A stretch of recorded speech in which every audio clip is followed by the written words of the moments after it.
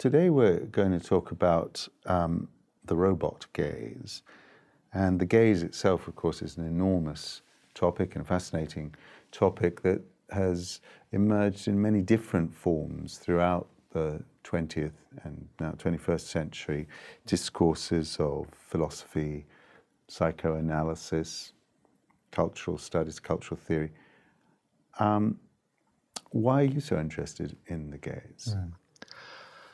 I guess there's a type of active agent, which a robot, a social robot, um, comes into the room and demands or requests your attention through a gaze. And some robots are able to actually choose an individual in the room as the primary interactant and mm. to hmm. focus their gaze onto the subject. Um, so, for example, the Pepper robot will move around, move its head and its eyes so that you, and, and even indicate in the color of its eyes that the fact that it's met your eyes. And so there's something peculiar about that's different from um, your gaze onto a computer screen. You could say a computer screen actually kind of does look back at you. Mm and it monitors you through the movements that you make with the mouse. Mm. Um, and so there's an exchange of gazes mm. um, with the computer, but you're in command. So it's more like an embodiment relation to you move the mouse and the mouse moves on the screen and it, you uh, you interpret things on the screen. You click on the OK button um, to dismiss a dialog box and perform an action. But a robot is more inscrutable. Um, it doesn't really give give away or give off very much. Um, some robots, in fact, more than Pepper, um, do have facial expression changes um, or what they what the roboticists refer to as emotion generation. Um, so they offer themselves to your gaze um, and express supposedly an internal state.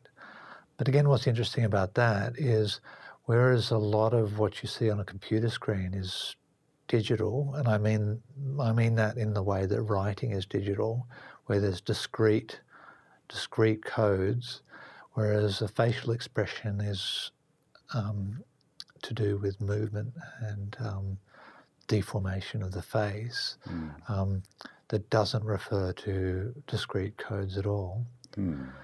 So, in all, what that means is that the robot doesn't communicate in the same way as other types of artifacts. And so, in um, Don Ihde's terms, it presents itself in alterity relations. It is another. And that's where Sartre, talking about the gaze, one of the first really pieces on the gaze, um, said that the gaze of the other is not accessible to you except in the sense of shame that you feel when you're confronted by the gaze. And for him, the gaze wasn't just eyes, wasn't just ocular. Um, it could be just the rustle of leaves or the brief opening of a shutter. And, and funny, he kind of uses the shutter, and I think he meant in a window, but it could be in a photographic shutter. Mm. Um, so when the robot is looking at you and you can't actually work out the meaning that the robot is making, you do feel a sense of shame or exposure. Um, and that comes from that not being aware. Um, and the roboticist is actually in a position, the designer or programmer or remote operator is in a position where they actually do inhabit that gaze. Um, they're able to transfer the gaze um, into the robot's, look through the robot's eyes. Um, but for the interactant, um, there's a power dynamic where the roboticist or the operator is privileged, um, in the same way that a photographer is privileged to frame you in a certain way, to focus in a particular way. Um, before we go on, let's yeah. talk a little more about the gaze itself and how we are defining it. As you said before, the gaze is not just an ocular process, it's really a, a way of relating, perhaps, uh, an attitudinal uh, response as well, isn't it? That could capture the nature of the gaze. How, how, how, would you define it? Yeah. I mean, I think of it almost as a force field mm. um, that imposes constraints on. So you catch yourself, um, you become self conscious um, in the gaze. And for someone like Lacan, it is a deep kind of psychological um, um anxiety, um, fear of castration mm. that you're actually produced as a subject through the gaze. And that gaze is not just, that gaze is actually kind of constant. Um, in, yeah, so, and, and it is a way in which you, your interiority becomes public and that creates um, an anxiety. But at the same time, there's also that sense of one's own gaze being voyeuristic, um, scopophilic, um, the pleasure at gazing at the other, but also that sense of being exposed as a voyeur is even more intense as an experience in the in that kind of force field, and that's where actually it relates to some work that you've done, mm-hmm. which is the gaze tracking mm-hmm. um, apparatus that takes what is the intimate or the personal, um, all you do signal your eye, uh, gaze direction um, just from where your eyes are, but with the face track, with the um, eye tracking uh, mm. hardware, that gaze is actually revealed. And what did you find with uh, research subjects that you had in art galleries looking at? Well, what's interesting to me is that the nature of the gaze is often theorized, but the actual practice of the gaze is uh, rarely described or indeed theorized from a practice perspective. So it's fascinating to see how um, what uh, David Seamon, the phenomenologist, describes as body routines are enacted. And um, in the study I think you're referring to, we were looking at the gaze in arts museums and the way in which people um, move through and engage visually with artworks uh, primarily, but not only artworks, with interpretive signage, with other visitors, with their own devices, and a whole host of other things, including the um, architectural spaces of the museum. Mm. But what remains inaccessible through these studies of the gaze, however um, precise these machines uh, can uh, render the gaze, is of course the, as you were describing before, the interiority, the interior experience. We don't know what the person is feeling or thinking as they observe, unless, as we do, we conduct interviews afterwards, and then you can get some access. However, um, one of the interesting things about very detailed studies of the gaze like this is that you can record unconscious behaviors. So things like fixations, the ways in, in which the eyes dwell, however briefly, in terms of milliseconds. Mm.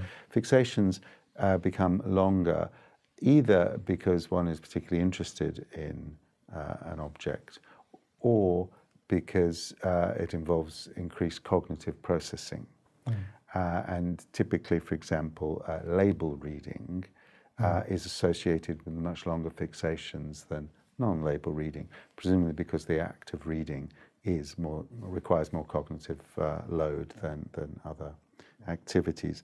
So, yeah, I'm fascinated by the way in which we can look at behaviors as practices as body routines. And of course, uh, humans are moving bodies. The eyes are constantly in motion on heads that are in motion, on bodies in motion that are moving through spaces. Mm. Yeah. Yeah. Yeah. And that's where the robotic eye, I think, is interesting because it's a very sanitized eye mm. that denies that gets exposed when you take when you pull the skin off a robot mm. or you start to disassemble the robot then suddenly it appears like a kind of um, a, a, puppet that's mm. that's um, broken apart in some way. So in Heidegger's terms, it becomes present at hand, mm-hmm. and that transition from the readiness to hand of liveliness um, goes away. And if you think back to some movies, some science fiction movies, uh, in the Terminator, Arnie extracts his sort of damaged eye, drops it into the sink. Um, so the eye becomes abjected. Um, or in Blade Runner, uh, when the um, replicants go into the um, eye manufacturer, um, who's using chopsticks in that in sort of very stereotypical um, Asian microsurgeon mm-hmm. to um, to play with eyes as components that are, are, are, reproduced. And so, in some way, in the cultural imaginary, the eye is this abjected thing, um, that is denied in the very carefully designed um, robot eyes. This um, Garner Holt has a Abraham Lincoln uh, robot, or um, Hiroshi Ishiguro creates robot has created a robot of himself and of his um, of a Danish um, roboticist as well, and a bunch of other. Um, and the fact that the eyes can blink, um, and it, if you go back to the early history of animation um, and even cinema, um, blinking is quite an important indicator of uh, life when the eye actually stops looking for one mm. fraction of a second. Yes, and, and the blink, of course, is an indicator often of the humanity of the other. Uh, mm. And the absence of the blink is, is associated mm. with the machine. I did a, uh, a project with um, David Silvera Tawil at um, UNSW in which we introduced our um, experimental subjects to the street uh, in Oxford Street, busy shopping street uh, in Paddington, and we said to them it's possible that uh, one of or more of the passers-by or drivers, pedestrians, cyclists here may be a robot. If you uh, believe you've seen one, please just make a note of it and let us know afterwards. And they were at the time wearing eye trackers, our subjects. And it was fascinating how, having put this suggestion into people's minds, they actually began to see robots, um, androids in, in the street. And one of the signs that they gave was that uh, somebody hadn't been blinking, they felt enough. And this yeah. was possibly a sign. And what was very interesting was it introduced to them, it's an instant, uncanny experience. Mm. And it, um, many people found it deeply disturbing to think that the robots might be mm. amongst mm. us with mm. whatever gaze they might have. So I think that's also interesting, isn't it? The, the notion of the uncanny, mm. and particularly with respect to the gaze. We know about the, the uncanny valley when mm. the robot uh, approximates but does not quite achieve. Um, uh, the appearance of uh, the human and is the most intense form of the uncanny. And that uh, I guess, is centered on the gaze itself, isn't it? Mm-hmm.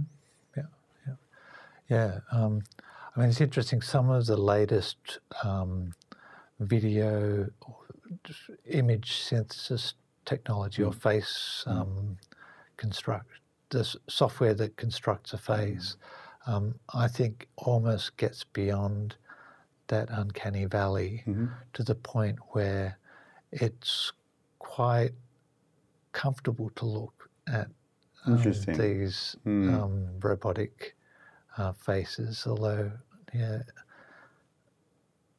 it depends. I think if it, if it sort of performs, but once you start examining it, Mm. um, so if, if you there's a app on your phone that you can use to actually capture a photo of yourself, and um, it will construct an avatar, um, and then you can dress yourself. And my wife turned me into a woman and put me into a dress. I we need to see this. So- Yeah. It's, yeah, I, I, the, the paper actually that David and I wrote was called Beyond the Uncanny Valley, mm-hmm. and it was dealing with that situation, arguing that when it is impossible to tell the difference between the android and the human, mm. that is even more disturbing in a mm. sense because um, one lives in a constant state of radical doubt. Is this or is this not a human? And therefore, what is the quality of the gaze? Which raises for me a very interesting question, uh, which you um, alluded to in your reference to Sartre and his, his shutters and the rustle of leaves. Uh, and that is, can the gaze, and I think it can, be present in the other than human, uh, in, in objects themselves, and in, in, a, in a world of design where we're constantly interacting with designs, both digital and, and non, and objects more generally. What is the role for you of the gaze in that context? Because it seems to me that in traditional societies, uh, the notion of the inanimate, the quote unquote inanimate, having a gaze, the animated gaze, is everywhere. And, you know, rocks and trees. Well, God sees it. God sees everything. Indeed. Yeah. Um, but I guess what's happened in the past 50 years is that that sense of being gazed upon has actually been manifest. So um, we carry around a device in our pocket which gazes at where we are in space with the GPS. Um, and so that can actually be presented in evidence that you can um, see that where you made a phone call um, is from a particular spot or where you took a photograph at a particular place and time. Um, so there's a, a, a, a, an actual gaze upon you, um, security cameras, um, the you know what Foucault famously called the panoptic gaze of discipline, but Deleuze really referred to that we've gone beyond discipline into control, Right. uh, where we actually do have. I mean, in a way, the um, the swipe card um, is also a way in which you are seen by the doorway that allows you to enter, Yeah. um, and that could literally be, um, you know, face recognition or. And in China, certainly the use of face recognition systems um, means that you are literally like it's better than the 1984 telescreen. Um, that it's you might be gazed upon by the state, uh, even if you step out into the road when the crossing light is not lit. Um, in some intersections, there's a large screen um, that shames you on the spot that says, you know, hey, Chris Chesher, you're crossing the road illegally, um, and everyone on the street can see can see that, and maybe you have your social credit reduced as a result of that. And so you should. Yeah, I mean, the nearest thing I've seen to that here, of course, is uh, occasionally where roadworks uh, are underway. You get uh, road signs that monitor your speed and then Yeah. then give you a smiley if you were under, or I'm not sure what they do when you go over. They they shame you. Yeah, yeah. Uh, all of these gazes, though, presuppose that behind the machine gaze is a human gaze at some point, which is um, making the decision in the case that you've just described to to uh, value behavior or devalue behavior in particular kinds of ways to judge. So there is a human judgment there, whereas, of course, in the traditional societies we uh, were talking about before, um, the there is no no assumption that there is a human behind that. The tree itself is. Uh, has has personhood, Mm. let's say, and I, I think maybe it's a question of, of personhood Mm. that it becomes interesting here, isn't Yeah. it? In that there's some sort of agency Yeah. behind the gaze, and it's the nature of that agency which is critical. Yeah, I, and I think that's where robotic gaze is interesting because it is what the roboticists are trying to design towards is to have uh, an interaction that's not just a kind of mirroring. So when you use an emoji, for example, on your phone, and you see yourself as an elephant or as a turd, um, and animate yourself, you are in control of that, and you see yourself. Whereas a robot that has both emotional um, recognition and emotion generation will say, You're looking sad today, Chris. Um, what's upsetting you? Um, and actually respond in a way that there is no human in the loop, um, but it is operating as an emotional other, and there's like an intersubjective dynamic in play. Um, and uh, the roboticists actually find that it doesn't take a lot to give people a sense of that intersubjective dynamic of, of, of feeling, that it comes easily. Yes, we're into new territory now, I think, with mm. this, and presumably we're at the very beginning of mm. a revolution in the way we respond to things mm. when we relate to them. Yeah. And it's the, the simulation of emotion, I suppose, that is going to become increasingly difficult to uh, distinguish between, you know, fake and authentic. What is Yeah, authentic emotion? yeah. when machines are producing it. Yeah, yeah, and that's where there's different strategies um, between the ultra realistic robot on the one hand, which does immediately create that sense of the possibility of the, the robot being indistinguishable, um, and that's what you know Blade Runner plays with. These are the androids. The androids, yeah. Um, that's what Ex Machina plays with.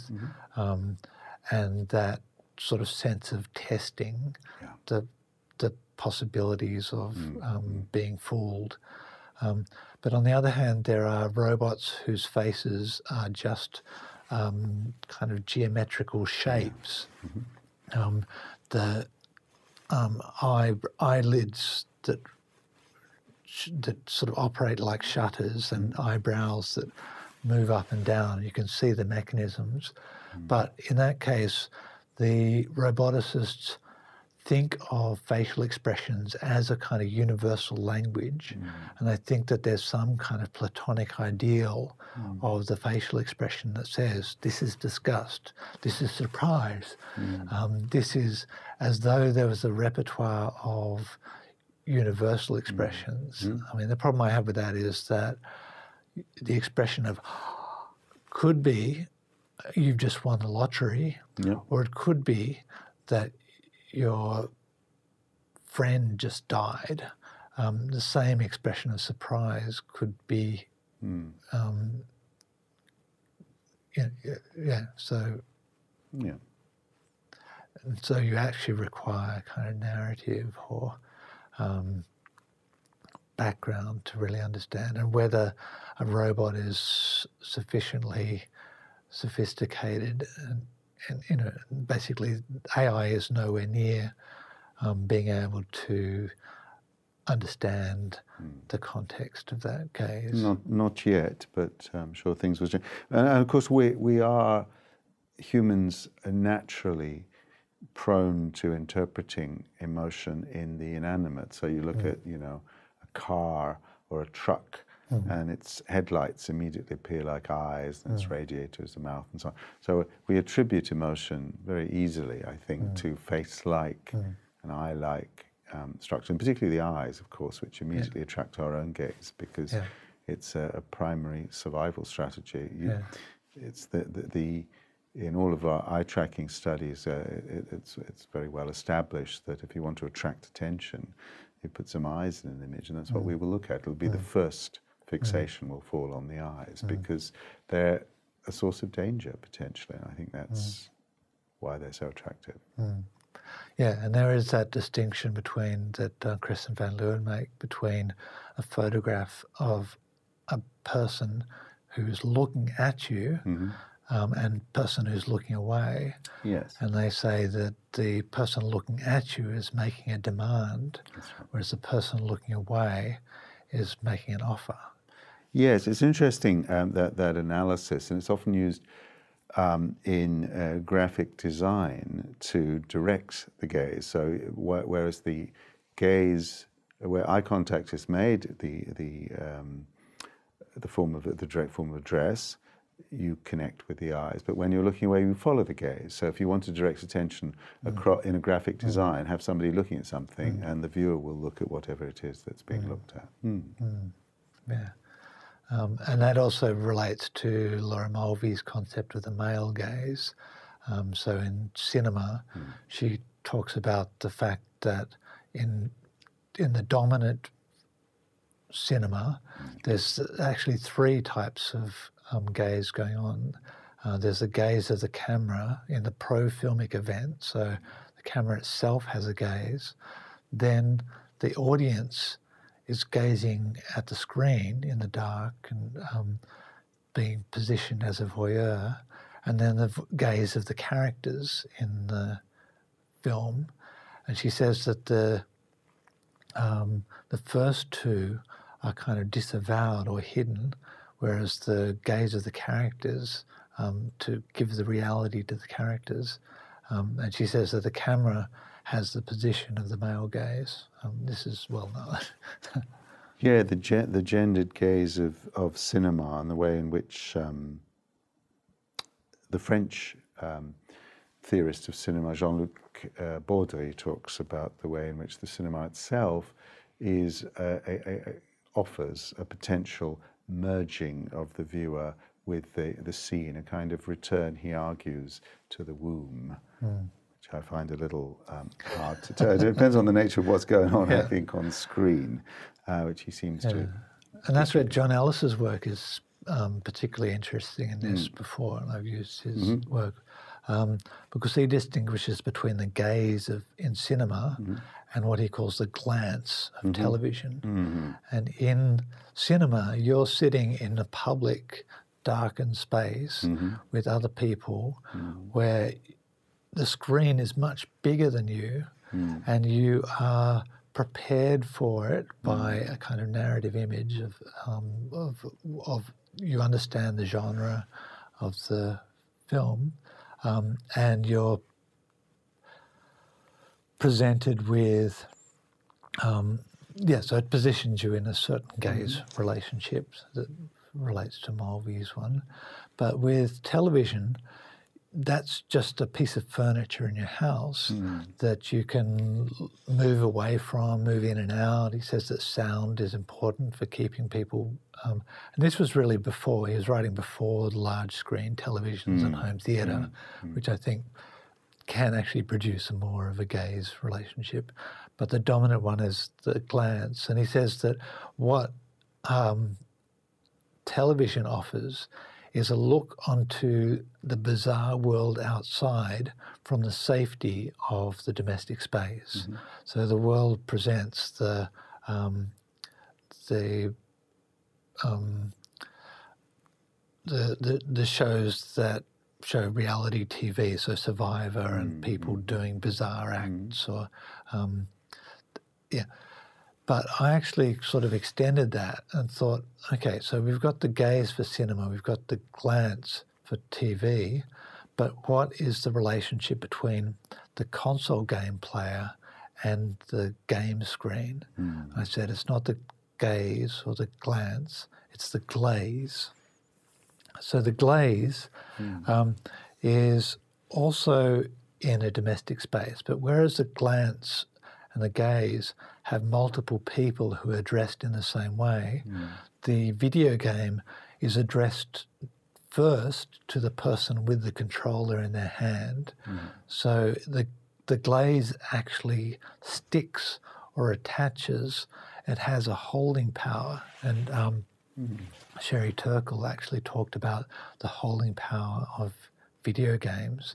So there's a stickiness to the glaze Yeah. That holds you. Um, and there's what I refer to as ludostatic mechanisms, which is that the there's a sort of um,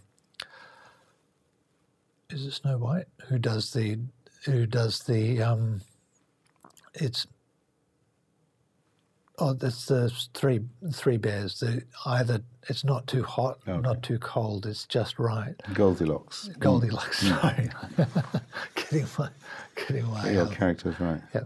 Um, so eh, eh, with a game that's too difficult, Yeah. you feel alienated from it.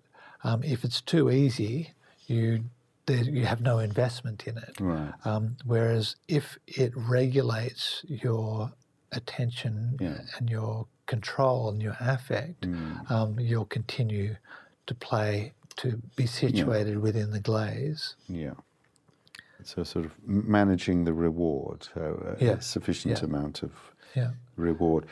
Uh, that and that, I suppose, brings us on to the, the nature of attention capture and control, because we live in an economy of attention, where perhaps the most valuable of all contemporary commodities is attention, and all sorts of different agencies uh, vie for it, from governments to advertisers of various kinds to um, individuals.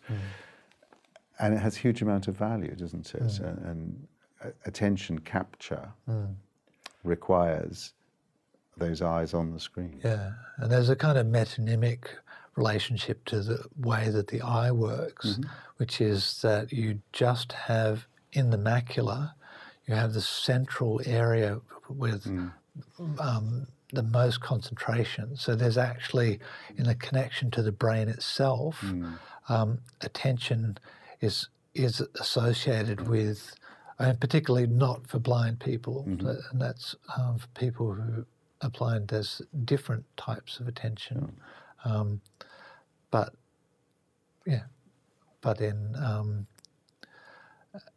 yeah, I guess that also relates to the dimension of consciousness itself. What do you mean? Um, that, I mean, um, Freud used the analogy of the magical tablet. So when you're a child, you have the piece of wax tablet with the, cellu- the celluloid on top of it, and you can use a stylus to write on that. And he says that that's like consciousness, um, which only holds the image for a certain duration before you lift the celluloid and um, everything disappears from consciousness. Um, so attention is about becoming conscious. But then he says that there's a deeper impression, and I guess this is what advertising tries to do. Um, it, it tries to draw your attention, but also then create the impression on the wax that's, uh, that is difficult to uh, detect until you you get exposed to the brand or to your gaze falls upon the in the supermarket you suddenly see the brand of washing powder that you've seen advertised and snap um, it comes into consciousness again and you have that desire to purchase. And and ideally, from the advertiser's point of view, it triggers a behaviour, and the hand reaches out and you put it in your trolley. And I think this this brings us back to the notion that the, the gaze, which of course in uh, traditional forms of aesthetics is seen as disembodied, disinterested, is of course profoundly embodied. It can't be anything but embodied, and it's associated with certain types of behaviors which are preferred or dispreferred depending on the situation and the actors. And so, in the case of, of advertising, the gaze is the starting point for triggering certain kinds of preferred behaviors from the advertiser's perspective. Mm. And perhaps also, and I think interestingly, um, uh, when we bring us back to the robots, about what is not gazed on. So, you know, it's look here, but don't look there. Mm-hmm. And there are certain things that the gaze is actively um, stopped from mm. from looking at. Yeah. And that's where a lot of roboticists use what they call the Wizard of Oz mm-hmm. Uh, experiment. So they have an operator hiding around the corner mm-hmm. um, and controlling the robot, but giving the impression that the robot is actually more intelligent than it actually is. Mm-hmm. Um, and so people do respond, and and people are credulous enough that the robotic technology and artificial intelligence technology has a sort of mystical mm. dimension to it that people will believe that the robot is intelligent, even from even from minor signs, mm. um, and particularly from that Wizard of Oz relationship. Um, people are, want to believe. Yes, they do. Mm. Again, uh, with um, David Silvera-Tawil, uh, we did a, another um, experiment in which we placed one of those, uh, an android robot, in a laboratory, and alongside the android, we, we sat a, a human model dressed uh, in the same way as the robot and behaving in a similar way to the robot. And our subjects were introduced uh, to them very briefly. Their, their, their robots were, and the human was hidden behind a screen. And we then asked the subjects, they had a five second opportunity to look, um, are you looking at one robot, two robots, or two humans, and which is which?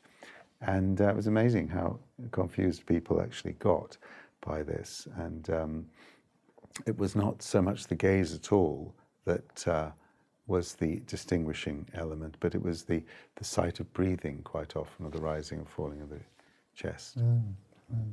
A glimpse. Mm. Yeah. Yeah. Okay. Um, Great. Well, we've we've covered, I think, pretty much all of the points yep. on here. Is, yep. is, there anything you'd like to add in terms of? Um, I thought I might just embellish a little bit on the mm. glaze because. Yes. So we, tell tell us about the glaze. Tell us more about. It. So as well as um, addressing the player as the individual, mm. and it's also it's also possible to, to, that um, gaming is actually a spectator sport, um, but that, and that's where um, the gamer's elite gaze becomes part of the um, part of the spectacle. Um, the fact mm. that, that, that there's an implied the implied gaze, and that's um, or a shared glaze, but being immersed in the glaze. And that's where, in that horrible sense of the Christchurch uh, shooter, um, where he actually made himself into a, a video game character mm. um, and, and you know, entered the mosque um, as an assassin um, that looked a lot like a, um, a game. Um, there's a, but in gameplay, and I don't want to link the two too directly, um, but in gameplay, there's a kind of a sadomasochistic dimension to gameplay where there's an enjoyment of shooting other characters, but there's also a pleasure at the point of death of your character when and typically what happens with the de- with the death is that you're moving around you're in control and you have a sensory motor connection with the avatar in the game space. Um, so you move the joystick left and the viewpoint goes left. The, the, the sort of angelic camera over the shoulder um, follows you. Um, you are the center of the universe. Um, and but when you're killed, usually the screen changes color mm. and you're controls become unresponsive and the camera moves off in a totally different direction. Um, and the screen goes black, but suddenly you are resurrected. Um, and so there's a, a, a, challenge to move on. Mm. Um, and in um, cinema, cinema is kind of a nostalgic um, medium. Yeah. Um, television is more of a um, sort of distracted complicity with the world. You agree with what's going on, but usually it um, disappears and the next series mm. comes up. Yeah. Um, whereas with um, a game, it's a possible world. What can I do here? How can I act? What what is possible? Mm. Mm. Uh, of course, you draw attention by choosing the word glaze uh, to the notion of glazing over, which is a kind of a state of mm. cataton- mild catatonia, mm. So, uh, are we not, at a broader cultural level, all increasingly subject to this glazed yep. effect? Yep. Yeah, and I guess if you get onto a, um, a bus and you see that everybody mm. has their mobile phone um, that they're glazed to, um, I guess you know, but it used to be the newspaper, and um, then there there is a, a, way in which, if your gaze is captured by the object, that it's not available anymore to interpersonal gaze. And I guess in public space, that's sort of a necessary thing. Is that um, avoiding the gaze um, is one of the ways in which you inhabit urban space. Um, to regulate access to the gaze. Um, but um, the other thing about the glaze in in um, video games is it's the glaze of a ceramic. I think of you know a, a red um, vase, and if you look closely into it, you can see yourself in the glaze, but you're distorted mm. in some way. So that's where that identification with the player in the game space is another form of reflection of the self.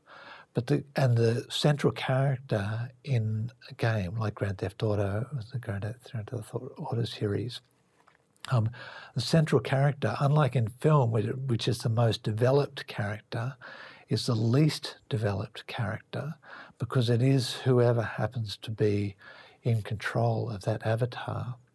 Um, and I mean, it's interesting in a game like Red Dead Redemption 2, you have a sense of actually being party to a gang um, of other characters, and the other characters actually get developed and they start projecting onto you a certain character. So there's a way in which the game writes your and actually requires of you a certain type of action. So even if you don't really feel like killing all those people or blowing up the train or whatever, um, if you are invested in the game, your subjectivity in play is constituted by the mission of the game. Um, and again, that attaches you to the game in a particular way. And of course, you, you are the person who introduced me to Red Dead Redemption 2 mm-hmm. uh, in a few months ago in an exciting evening of death and destruction. uh, and I, I, guess maybe this is a good point for us to, to wrap it, but it does uh, inevitably introduce the glaze and the end of a certain kind of interpersonal relationship. And I think it would be really interesting to, um, perhaps in our next conversation, to, to look at the ways in which the, the digital cultures can actually promote interpersonal gaze as opposed to glaze. Mm-hmm. Yep, I think that'd be good. Mm. Thank you. Should we go and get some lunch? I think so. That would yeah. be excellent. Yeah, thank you. That was a great. Uh, have Good. we covered everything? Yeah. I think so. That'll be a nice yeah. collection of um, comments. Great. That would be beautiful. I could play this to the students. All right. Well, that's a wrap, as they say. Thanks.